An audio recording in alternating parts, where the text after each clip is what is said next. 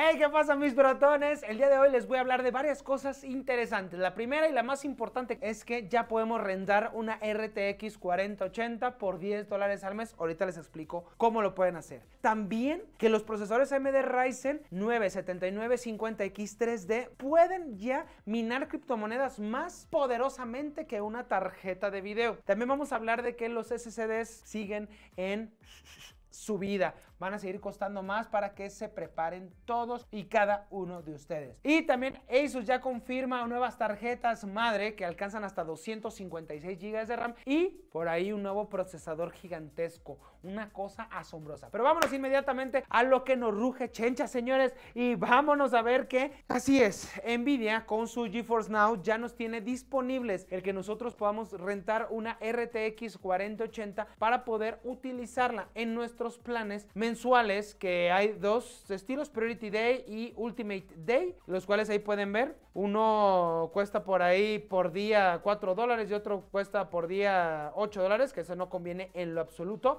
sino que nosotros podemos comprar estos pases ya mensuales que cuestan 10 dólares, así es, y 20 dólares al mes. De ahí ven unas poquitas de diferencia, pero que no son relevantes. Lo que es relevante que ya las RTX 4080 están totalmente disponibles para que nosotros podamos empezar a utilizarlas con GeForce Now. ¿Cómo funciona esto del GeForce Now? Porque se lo pregunte, es una plataforma que si tú tienes una laptop que no tiene mucho poder, te conectas a GeForce Now con una cuenta, pagas ahí la mensualidad de 10 dólares o de 20 dólares dependiendo de lo que tú necesites, de prioridad, de, de los videojuegos que puedas jugar, todo este despapalle y pones con una RTX 4080 a jugar cualquier videojuego como si lo estuvieras haciendo con tu misma computadora. Los servidores están hechos para que el input lag sea el mínimo y que sea totalmente jugable como si tú lo estuvieras haciendo con tu PC. Esto es una verdadera joyita, la verdad, que a muchos de ustedes pues no les gusta, a otros les encanta la idea, pero que al final de cuentas hay que estar bien enterados y por los traigo por acá. También de enterados, recuerden a VIP URCDK, esta página que vende licencias a muy bajo costo para activar su Windows o su Office. Les recomiendo pagar mediante PayPal, de esta manera es 100% segura e inmediata su compra.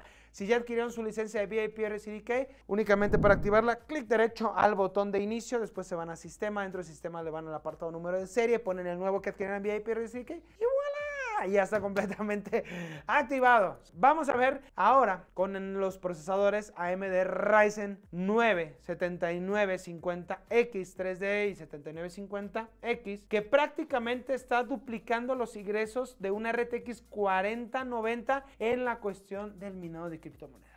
En este momento me voy a poner muy serio y los voy a ver directamente a los ojos.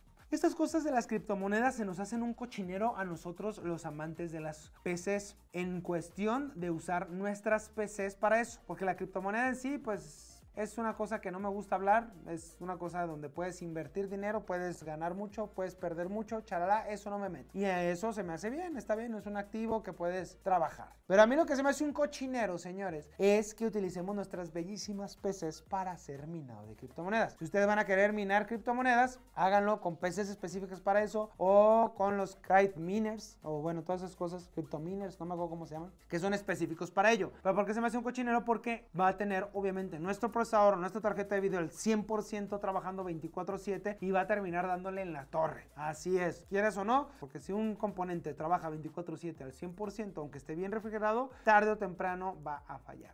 Tal cual. Entonces, por eso a mí no me gusta mucho eso. Y quien lo quiera hacer, pues hágalo con cosas específicas o PC específica para eso. Pero resulta ser que se viene estas nuevas criptomonedas que han estado saltando a la luz nuevamente gracias a que otra vez eh, Bitcoin alcanzó sus máximos históricos, pues otra vez todo el mundo empieza a hablar de ellos, ¿no? Todo el mundo empieza a hablar de criptomonedas y todo el mundo dice que otra vez es la mejor inversión del mundo. Y se les olvida a las personas que entraron costando 60 mil dólares y que tuvieron que vender todo a 20 mil dólares el, el Bitcoin, ¿verdad? Se les olvida a todos ellos. Y otra vez están bien emocionados y platicando en todos los grupos y en todos lados diciendo, yo soy un inversionista de las criptomonedas. No, realmente los que son inversionistas son los que compraron en 20 mil y ahorita en 60, 70 mil dólares vendieron todo. Esos son inversionistas de las criptomonedas. Tú que pierdes todo el tiempo no eres. Te lo tengo que, te lo tengo que decir y tengo que hablarte con la verdad. Entonces, a resultado de esto, que se fue hasta las nubes, pues resulta ser que lo están utilizando para minar Cubic, una criptomoneda en específico, la cual está otorgándoles hasta 3 dólares al día como ingreso con un solo 7950X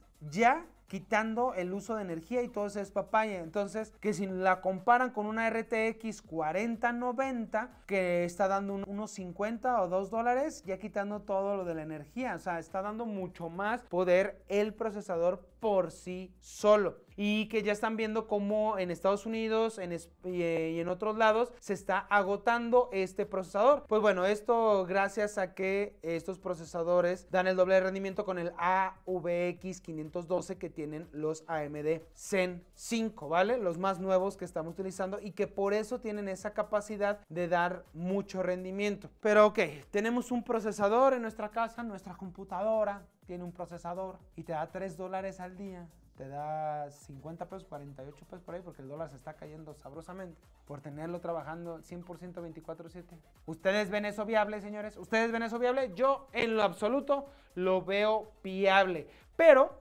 pues ya se están acabando los procesadores y gracias a eso AMD dice, caparemos los procesadores Ryzen con arquitectura Zen 5 para que no sean usados en la minería de criptomonedas porque no queremos que vuelva a pasar lo que pasó en años anteriores. ¿Qué pasó en años anteriores? Que gracias al minado de criptomonedas y todo mundo que hacía su rack con múltiples tarjetas de video, que aquí pueden ver cómo los hacían ahí gloriosamente, que hasta su servidor proto hizo algunos, pero que los hice para clientes, no los usé yo nunca, ¿ok? Yo nunca maltraté una tarjeta de video. En este canal nunca se llama, no, sí, sí he maltratado varias tarjetas de video pero no de esta manera, ¿verdad? Entonces, anteriormente se hacían estos racks y se acababan las tarjetas de video no había tarjetas de video por ningún lado porque todas las usaban para minar criptomonedas. Y toda la gente que minaba criptomonedas, muchos están en la bancarrota y se fueron al carajo. Mira, ahí les va una historia. Yo tenía un conocido, amigo no era y nunca fue. Resulta ser que él empezó a comprar sas, sas, sas racks, o sea, empezó a armar de seis tarjetas de video cada uno. Pum, pum, pum, pum. Llegó a tener como 40 de esas madres. 40, señores. Hizo un contrato hasta directo con la CFE para poder bajar el costo y demás y no se la robaba. Muchos de ustedes lo dicen, no, pues que se la roben la luz y miren, les sale re bueno. Pero bueno, él no, hizo un contrato específico, chala, y toma la cachetón se quedó sin nada. Terminó vendiendo todas las mendigas tarjetas de video como al 20-30% de lo que le costaron. Se fue al carajo, ya no tiene dinero, se quedó sin esposa y está en la calle. Todo por volverse loco con las criptomonedas. Ah, no lo hagan así, mejor eh, aprendan, inviertan ahí poco a poco, ¿vale? No le pase a lo que mi conocido. Entonces, pues resulta ser que aparentemente MD va a capar estos procesadores que pues resulta ser que están utilizándose mucho para la minería de criptomonedas. Y acá estamos viendo que también con todo lo nuevo que están saliendo de la IA y todo este despapalle, pues están utilizando aparentemente también para poder ser más eficientes en el minado de criptomonedas. Nos habla mucho esta noticia que tengo por acá, pero que definitivamente no es algo viable. Yo lo veo en cualquier aspecto, ni aunque lo capen, ni aunque así, imagínense, pues necesitamos tener un montón de computadoras ahí prendidas con los procesadores al 100 para que nos esté dando 50 pesos al día, 500 pesos cada 10 días, 1500 pesos al mes. Mm, pues no está mal, ¿eh? No está mal 1500 pesos al mes, pero pues tendríamos que tener ahí unos mínimo unos 10 equipos así, la inversión no.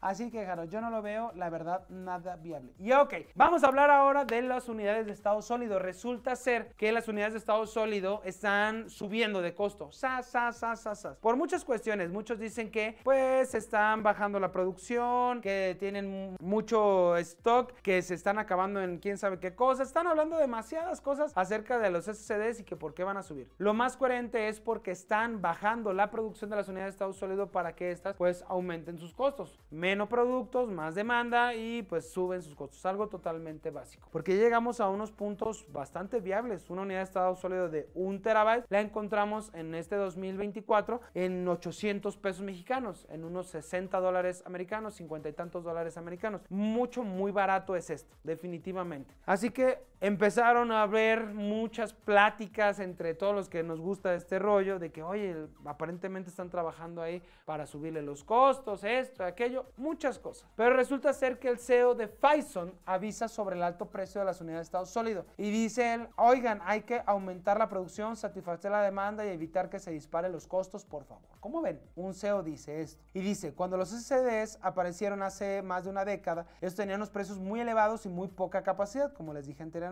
sin embargo, pues ya en la actualidad bajaron mucho de precio y pues se recomienda comprar antes de que eh, un disco duro era lo habitual, ¿ok? Antes de que compraran ustedes un disco duro. Vale. Dice, la subida de precios de los CDs podría provocar una demanda menor en el mercado de la memoria NAND 3D, ¿ok? Y empeorar así las ventas, que ha sumado el recorte de producción existentes y acabará empeorando demasiado la situación del sector. Esto es lo más viable y esto es lo más coherente porque muchos dicen un montón de cosas allá afuera, pero obviamente están recortando la producción y gracias a esto de las memorias NAND se van a empezar a subir los precios. Entonces, aquí dice que el CEO de Phison, o sea, el encargado completamente de esta compañía, cree que si los precios de los SSD siguen subiendo, la demanda y las ventas caerán y la industria se hundirá porque ahorita están en sus mejores fechas, en sus mejores apogeos, están en lo mejor de lo mejor y que están trabajando muy bien. Entonces, manda un comunicado a las otras compañías de unidades de estado sólido a subir obviamente la producción para que puedan estar abasteciendo la demanda actual que necesitamos de unidades de estado sólido y no haya problema. Entonces esta es una de las compañías que ya lo está haciendo, que ya lo está trabajando. Esperemos que las otras lo estén trabajando para que la subida de las unidades de estado sólido no sea tangible en los próximos meses. Porque habíamos hablado en anteriores videos que la subida de unidades de estado sólido podríamos estarlas viendo a partir de abril, mayo, junio, por, esos, por esas fechas. Entonces si hacen esto podríamos mantener los buenos costos y realmente ser muy viable el seguir comprando unidades de estado sólido.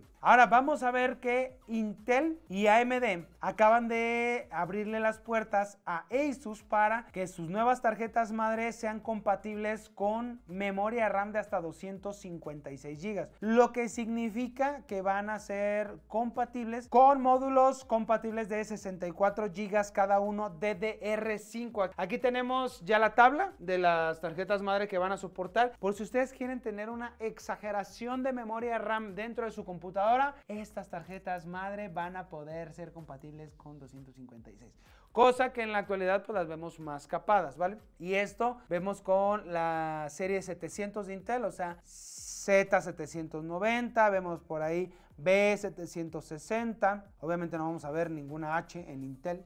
Y vamos a ver por acá en AMD pues va a ser la serie 600, ¿ok?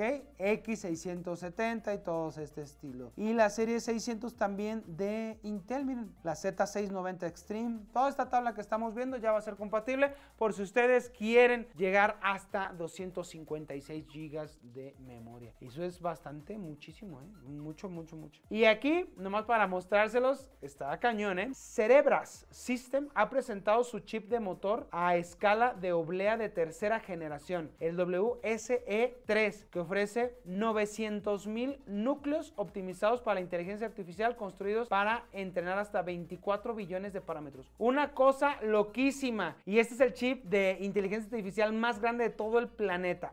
Billones de transistores para entrenar modelos de IA con billones de parámetros. Estas son sus especificaciones. 4 billones de transistores, 900 mil núcleos de IA, 125 petaflops de rendimiento máximo, 4 SRAM de chips de 4 GB, proceso TSMC de 5 nanómetros y memoria externa de 1.5 terabytes, 12 terabytes y 1.2 petaterabytes. A su madre con esto. Entrena modelos de IA hasta de 24 billones de parámetros y tamaño de clúster de hasta 2048 sistemas CS3. Esto es una locura. Esto nomás para presentarles y mostrarles esta locura de procesador o bueno, de oblea con tantos núcleos que tiene, bien nomás. Lo más grande que hay en el mercado, señores. Pero esto es todo de este video. Espero les haya gustado todas las noticias y todo lo que les traigo por acá. Recuerden comentarme aquí debajo, dejarme su like y nos vemos hasta